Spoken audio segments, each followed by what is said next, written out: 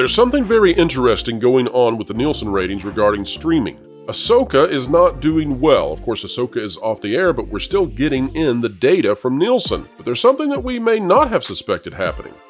And that is that Disney is owning the top two movie slots when it comes to streaming films.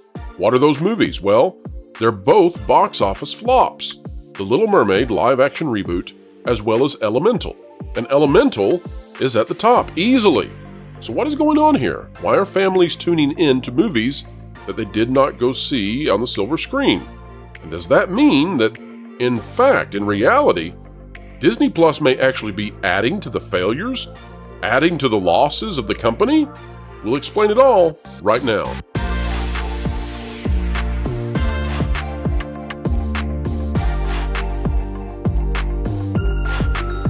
Hello, folks. It's a beautiful day out there because you are here with us, and we sure do appreciate being a part of your time. Time is the most valuable resource we have, and we intend to use it wisely with you today as we continue to explain entertainment and indeed keep you ahead of the culture curve.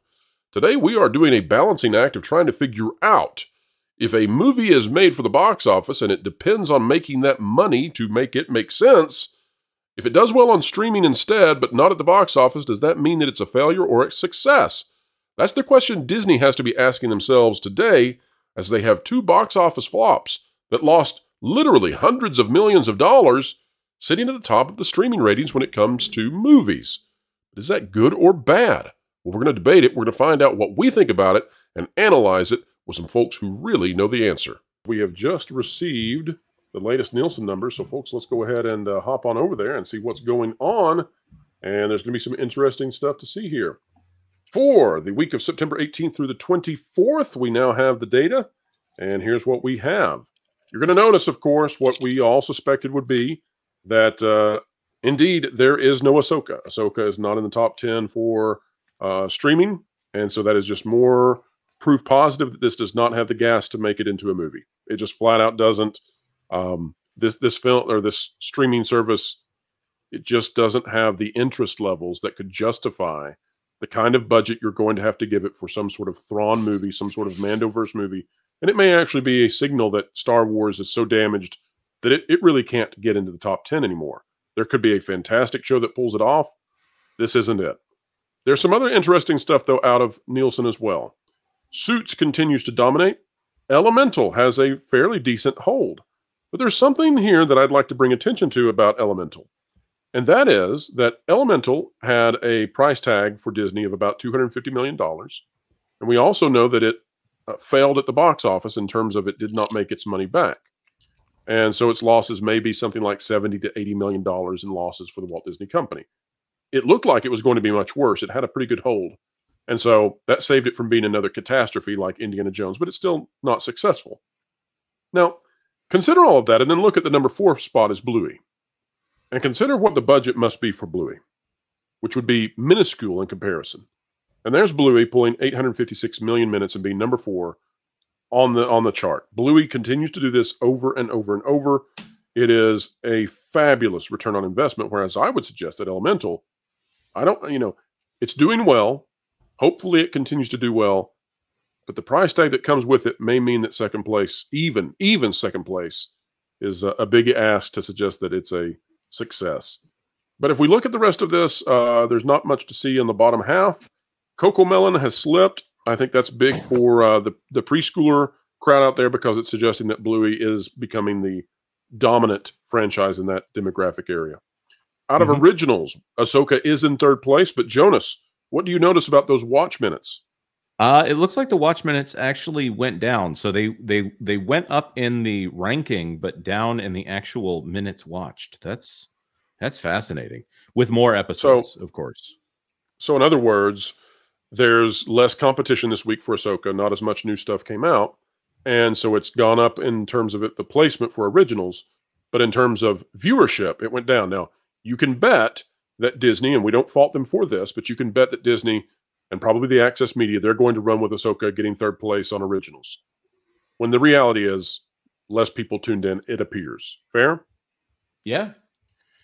And it, was, it was 577 last last week. So that's, and that's very did strange. less people did less people tune in because they aren't there anymore because they were hoping Ahsoka would keep them as Disney Plusers. And when they got fed up with it somewhere during the run, they walked away not only from the show, but from membership. That's a good point. Yes, exactly. And, how, you know, there's also this uh, opportunity cost that's involved here. How many people, if Star Wars was doing well, would be signed to, to Disney Plus who are not? And as you think about that, consider too, we'll be talking about this coming up real soon Netflix. Netflix doing so well, picking up 9 million subscribers at the same time that Disney has lost subscribers in three quarters consecutively. Uh, if we go to acquire, there's not much to see here either. Everything looks pretty normal. On movies, I do want to point this out. Here's what I think is happening, and this is why I'm poo pooing the success of Elemental. And that may seem unfair, and maybe it is. I'll take some criticism here if it's appropriate. But what I think is happening is that for Disney Plus, you can see the top two spots are Elemental and The Little Mermaid. Before Elemental came out, The Little Mermaid was sitting with essentially 1.6 billion minutes. Now Elemental has 1.3. The Little Mermaid now has about 400 million minutes watched. What I'm thinking is happening here is I think that Disney Plus is a babysitting tool, has a baked in amount of time that kids are sitting down and watching a cartoon movie. And I'm thinking that Elemental and Little Mermaid are just eating up that time that sits there no matter what. The reason I say that is because of the giant drop off of the Little Mermaid. So when Elemental comes in, it eats up the Little Mermaid's numbers, and the Little Mermaid drops to take whatever was left of the Little Mermaid's original numbers. It, it and that seems also, to me to be an indication it's just they're they're just cannibalizing their own babysitting hours. It tells you something else. It tells you that the usual in the good old days of not that long ago of people rewatching these Disney movies over and over is going away. It tells Yes. you that people who've seen Little Mermaid once, who might have been neutral about it and not political about it, the kids, when you put it on the second time, are saying, no, no, no, no, no, give me something else. And that's a huge change for Disney. It Very good absolutely is. That's a Absolutely really good is. point. Yeah. Yeah, I, I think Elemental. Uh, what I would very much look forward to seeing is how Elemental does over the next month. I'm not saying that I. I'm surprised that it's sticking around as much as it has, and and I I mean more power to them that they actually have something that seems to be at least in the short term resonating with kids. I'm not trying to say doom and gloom over here, but uh, I I'd very much like to see what's happening here now. Moana, who is so far down that list that's the one that they're investing all of their parks infrastructure into. And in encanto which is uh, not on this list at all that's the one that they're talking about all their blue sky ideas. Oh maybe in within the next 10 years we might consider maybe thinking we might do a land uh, they aren't really putting all of their uh, horsepower behind elemental right now. So maybe they also know that uh, something's not going on there. As the uh, alleged historian here, I want to point something out. Once upon a time, the production of many motion pictures was considered, yeah, we'll make money on that, but it's a loss leader for the home video sales. Uh, is is this that what happened to Elemental? Uh, you know, in fact, there's a funny little quirk. Um, once upon a time, the dimensions of the one sheet for a feature motion picture that went into the theater marquee were different than they are now. And the reason they changed was that the studios realized that when they had to transform it into a VHS box cover, the dimensions were taller and narrower. oh, And they said, why should we pay an artist to redo it when we could do it that way from the get go? And literally change the poster size, anticipating the VHS box.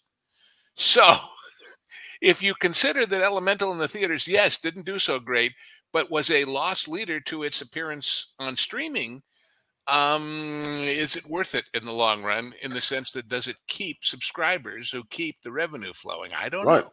And and that's the difficult thing to ascertain is we don't understand the correlation between the time watched for these these children's movies and any kind of gain in subscribers. And if you're losing subscribers, but kids are sitting there watching a movie that their parents wouldn't take them to see in the theaters and they're watching it on repeat, I don't I don't know that that's a success. I don't know how you would call that a success. and yet there it is and they deserve praise for having the top two spots. Right, unless they're at, unless they're monetizing it, unless they're putting ads on it, which Disney so far has said they're not putting ads or many ads on kids content. all, all of which in a different way shows you the the fatuosity of Mm. SAG-AFTRA for saying we want so much per head for subscribers, whether they're making you any money or not. And, ladies and gentlemen, we hope you enjoyed this conversation today.